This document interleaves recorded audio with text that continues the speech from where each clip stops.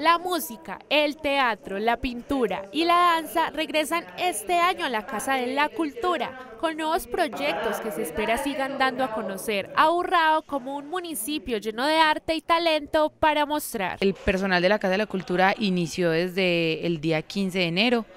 La primera semana se está haciendo una planeación de todo el año para eh, iniciar a hacer convocatoria la semana siguiente.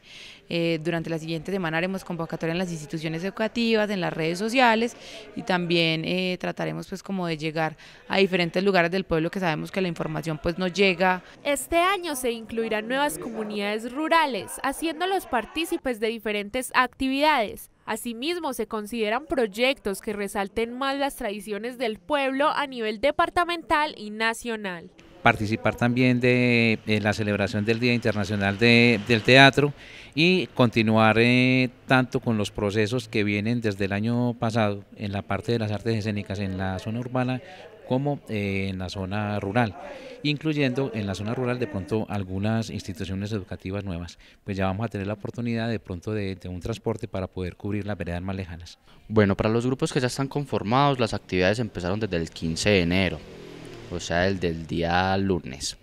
Y para los grupos a convocar empiezan desde la otra semana. Además, se dará continuidad a los distintos proyectos, el Festival de Teatro y de Danza. Incluso se espera que los niños, jóvenes y adultos se vinculen a estas actividades y se acerquen a la Casa de la Cultura para que disfruten de alguna de estas artes y procesos culturales.